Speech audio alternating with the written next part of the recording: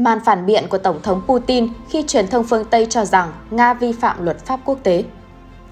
Các bạn thân mến, vừa qua tại Diễn đàn Kinh tế phương Đông 2022, Tổng thống Vladimir Putin vẫn giữ nguyên quan điểm Nga không vi phạm luật pháp quốc tế khi tiến hành chiến dịch quân sự đặc biệt ở Ukraine. Moscow chỉ đang hành động y hệt những gì mà Mỹ và đồng minh đã từng làm và từng hợp pháp hóa. Nhiều năm trôi qua, Iraq, Nam Tư, Syria, Afghanistan vẫn mang trên mình những vết sẹo từ các vụ đánh bom của NATO, cái mà liên minh gọi là thiết lập dân chủ và ngăn chặn bất ổn lan rộng. Phương Tây ủng hộ lý lẽ của Mỹ, còn Nga thì sao? Trong khi từ năm 2014, chính quyền bù nhìn Ukraine được lập nên đã gây ra quá nhiều tội ác mà Liên Hợp Quốc biết nhưng vẫn cùng Mỹ chờ đợi. Điều đang nói ở đây là tại Diễn đàn Kinh tế Phương Đông năm 2022, những lý lẽ lập luận mà Tổng thống Putin đưa ra thì không ai cãi được. Cụ thể, nhà lãnh đạo Liên bang Nga phát biểu như sau. Lúc này, vẫn đang có nhiều người cho rằng Nga đang vi phạm luật pháp quốc tế. Tôi cho rằng nói như thế là hoàn toàn không phù hợp với tình hình hiện nay. Ai đã bắt đầu cuộc chiến ở Iraq mà không phải chịu bất kỳ lệnh trừng phạt nào của Liên Hợp Quốc? Ai đã tàn phá Nam Tư núp dưới những lý do nhân đạo? Ai đã làm điều đó? Ai đã gây ra một cuộc chiến ở trung tâm châu Âu bằng cách ném bom Belgrade? Khi đó không có ai đếm xỉa đến các nguyên tắc của luật quốc tế. Tôi sẽ nêu ra đây một số sự kiện rất rõ ràng liên quan đến luật pháp quốc tế và cơ sở pháp lý các hành động của chúng tôi. Hiến trương Liên Hợp Quốc xác định quyền tự quyết của các dân tộc. Trong cuộc khủng hoảng Kosovo, Tòa án Công lý Quốc tế phán quyết rằng bất kỳ một dân tộc nào định cư trên lãnh thổ trong một quốc gia muốn tuyên bố độc lập thì họ không cần xin phép chính quyền trung ương của quốc gia đó. Phán quyết này của Tòa án Công lý Quốc tế đã được áp dụng cho Kosovo. Vậy thì tại sao lại không thể áp dụng phán quyết này đối với Cộng hòa Donetsk và Lugan? Cả hai trường hợp đều giống nhau. Donetsk và Lugan hoàn toàn có quyền như vậy, theo Hiến trương Liên Hợp Quốc.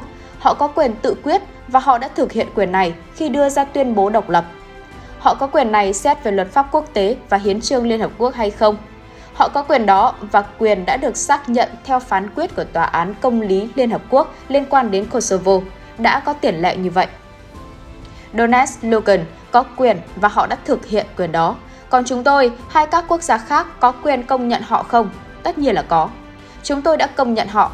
Sau khi công nhận họ, chúng tôi có thể ký kết hiệp ước quốc tế về tình hữu nghị, hợp tác và tương trợ với họ không? Tất nhiên là có, và chúng tôi đã ký kết hiệp ước đó. Hiệp ước này đã được Quốc hội Liên bang Nga và Quốc hội của Cộng hòa Donetsk cũng như Logan phê chuẩn. Trong đó có quy định một số nghĩa vụ của Nga là hỗ trợ, kể cả trong trường hợp họ bị xâm lược. Như vậy, chính quyền Kiev đang tiến hành một cuộc xâm lược. Hơn nữa, trên thực tế, hành động của Kiev còn là bất hợp pháp vì quyền lực của chính quyền Ukraine hiện nay xuất phát từ một cuộc đảo chính trong tháng 2 năm 2014. Còn hành động của chúng tôi có phù hợp với Hiến trương Liên Hợp Quốc không? Tất nhiên là phù hợp. Theo Điều 51 của Hiến trương Liên Hợp Quốc quy định quyền bảo vệ, quyền tự vệ.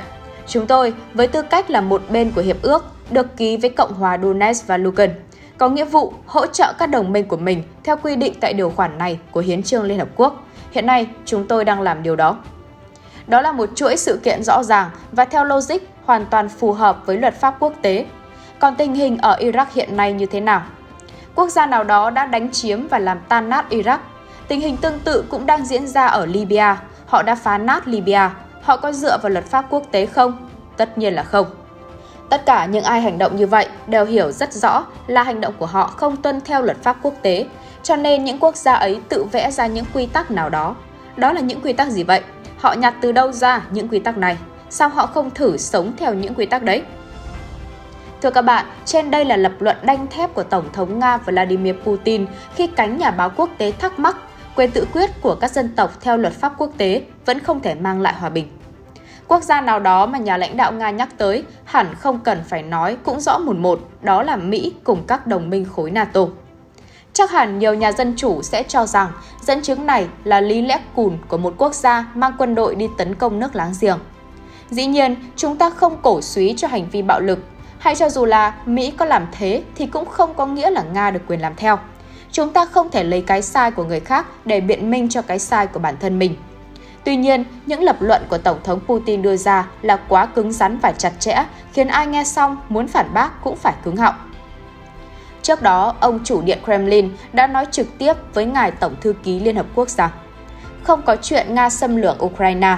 Nga chỉ đang làm những gì mà Mỹ và NATO đã làm với Kosovo và Serbia và ở Ukraine cũng thế. Cộng hòa Donbass và Cộng hòa Lugan muốn độc lập khỏi Ukraine nhờ sự hỗ trợ từ Nga. Thưa các bạn, vào ngày 21 tháng 2 năm 2022, Nga chính thức công nhận nền độc lập của hai nước Cộng hòa Nhân dân Donetsk và Cộng hòa Nhân dân Lugan, đồng thời thúc giục Kiev ngừng tấn công Donbass. Do các lực lượng Ukraine leo thang tại khu vực, vào ngày 24 tháng 2, Tổng thống Nga Vladimir Putin đã tuyên bố tiến hành chiến dịch quân sự đặc biệt. Nhìn từ một vài góc độ cụ thể, chiến dịch quân sự của Nga ở Ukraine thuần túy là một phiên bản có nhân tính hơn những gì mà đế quốc Mỹ và đồng minh đã thực hiện ở đất nước Nam Tư vào năm 1999. Liên minh hành động là tên cuộc tấn công lớn nhất từng được thực hiện bởi liên minh. Đây cũng là lần đầu tiên NATO sử dụng lực lượng quân sự mà không có sự chấp thuận của Hội đồng Bảo an Liên Hợp Quốc để chống lại một quốc gia có chủ quyền, không đặt ra mối đe dọa thực sự nào với bất kỳ thành viên nào trong liên minh. Trong suốt chiến dịch, NATO đã bắn 2.300 tên lửa và 990 mục tiêu và thả 14.000 quả bom, trong đó có bom uranium và bom bi. Hơn 2.000 dân thường đã thiệt mạng, trong đấy có 88 trẻ em và hàng nghìn người khác bị thương. Hơn 200.000 người dân tộc Serbia đã buộc phải rời bỏ quê hương. Cuộc không kích của NATO phá hủy hơn 300 trường học, thư viện và 20 bệnh viện. Ít nhất 40.000 ngôi nhà bị phá hủy hoặc hư hỏng, 90 di tích lịch sử và kiến trúc bị đổ nát, chưa kể đến những thiệt hại lâu dài gây ra cho hệ sinh thái khu vực và sức khỏe người dân. Theo truyền thông Serbia, thiệt hại kinh tế ước tính trên 120 tỷ đô. Trong một báo cáo được công bố vào tháng 6 năm 2010, cơ quan giám sát nhân quyền cho biết, dấu hiệu rõ ràng cho thấy NATO luôn luôn không đáp ứng các nghĩa vụ pháp lý, thể hiện ở việc lựa chọn mục tiêu, phương tiện và phương pháp tấn công – Tổ chức Ân xá Quốc tế tin rằng dù NATO có bất cứ ý định nào thì họ cũng đã vi phạm nghiêm trọng pháp luật chiến tranh hàng đầu trong những vụ giết hại dân thường vô tội. NATO đã bác bỏ những cáo buộc trên, cho rằng trường hợp liên quan đến dân thường thiệt mạng là do thất bại công nghệ hoặc đơn giản chỉ là tai nạn của cuộc xung đột. Vào ngày 23 tháng 3 năm 1999, NATO ngừng chiến dịch không quân của mình với việc ký kết hiệp định kỹ thuật quân sự tại Kumanovo vào ngày 9 tháng 6 năm 1999 với chính phủ Nam Tư, đồng ý rút quân khỏi Kosovo. Ukraine và những tội ác mà Mỹ và phương Tây cố tình không nhắc tới, Liên Hợp Quốc cũng bỏ quên. Như chúng ta đã biết, năm 2014 ghi nhận là năm đầy bạo lực tại Ukraine, từ sự kiện những tay súng bắn tỉa tại Kiev, thảm sát Odessa cho tới những hố chôn tập thể tại miền Đông. Song những tội ác này vẫn chưa được làm sáng tỏ. Cuộc khủng hoảng chính trị tại Ukraine bắt nguồn cách đây 8 năm, dẫn tới một cuộc nội chiến và hàng loạt tội ác tàn bạo đầy man dợ. Vậy đó là những tội ác kinh khủng nào? Những hối chôn tập thể Đầu tiên, phải kể đến sự kiện hôm 23 tháng 9 năm 2014, các tay súng ly khai đã phát hiện ra 3 hố chôn tập thể không tên tuổi, chứa ít nhất 9 thi thể gần thành phố miền đông Ukraine là Donetsk. Bác sĩ pháp y Konstantin Zerasmenko cho hay, toàn bộ nạn nhân chết do chúng nhờ phát đạn và bị trói tay. Bộ trưởng Ngoại giao Nga Sergei Lavrov đã kêu gọi các tổ chức quốc tế cần có phản ứng rõ ràng, không thiên vị và có trách nhiệm. Đáp lại lời kêu gọi của ông Lavrov, Washington lên tiếng ủng hộ triển khai một cuộc điều tra toàn diện để tìm ra chân lý của sự thật. Tuy nhiên, các cuộc điều tra của cơ quan thi hành sứ mệnh giám sát tại Ukraine do Văn phòng Cao ủy về Nhân quyền Liên Hợp Quốc ủy quyền vẫn chưa thu được kết quả nào đáng kể cho đến tận bây giờ. Thứ hai, vụ cháy tòa nhà Hiệp hội Thương mại tại Odessa từ ngày 2 tháng 5 năm 2014. Tội ác tiếp theo phải kể đến là vụ thảm sát tại thành phố Odessa vào hôm 2 tháng 5 năm 2014, cướp đi sinh mạng của hơn 50 người có nguồn tin nói rằng con số này lên tới 160 người trong vụ cháy một tòa nhà, vốn là nơi cư ngụ của những người biểu tình phản đối chính phủ Kiev. Ngay lập tức, cộng đồng quốc tế đã lên tiếng chỉ trích vụ thảm sát khi chứng kiến hình ảnh các phần tử dân tộc cực đoan Right Sector phóng hỏa tòa nhà. Sau 5 tháng xảy ra thảm kịch trên, Nga đã liên lạc với Hội đồng châu Âu EU. Tuy nhiên, phát ngôn viên của Tổ chức các vấn đề ngoại giao và chính sách an ninh châu Âu vẫn chỉ cho biết Cuộc điều tra này đang diễn ra nhanh chóng, minh bạch, không chịu ảnh hưởng từ chính trị, tìm hiểu sự thật và xem xét trách nhiệm của các bên liên quan, bao gồm người biểu tình và các cơ quan hành pháp.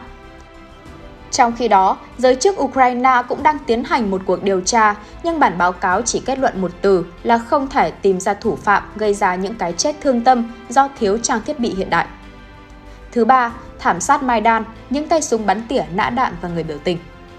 Tội ác thứ ba xảy ra hồi tháng 2 năm 2014 khi các tay súng bắn tỉa cướp đi sinh mạng của hàng trăm người ở quảng trường Maidan.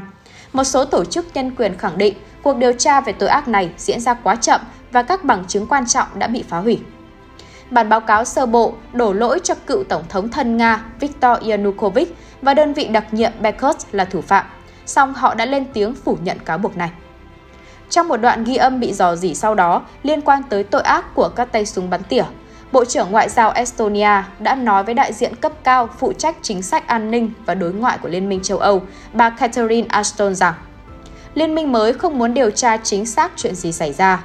Điều chắc chắn là các tay súng bắn tỉa không liên quan tới ông Yanukovych mà thuộc về liên minh chính trị mới.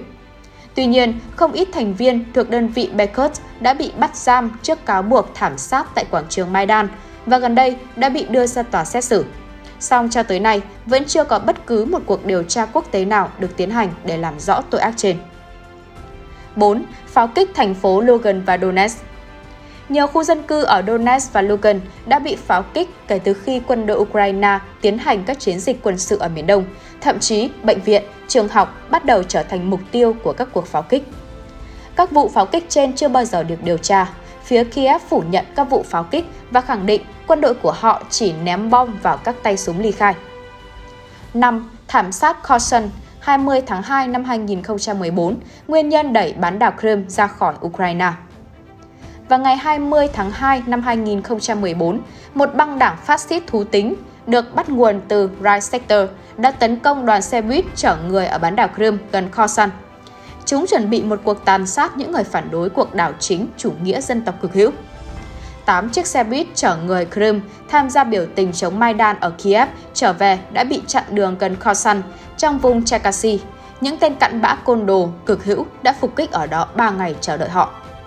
Những chiếc xe buýt bị bắt và đốt cháy, các hành khách thì bị đánh đập, tra tấn dã man và làm nhục, một số người bị đánh đến chết và bị sát hại. Thứ sáu, phát hiện ra 286 thi thể phụ nữ tại miền đông Ukraine.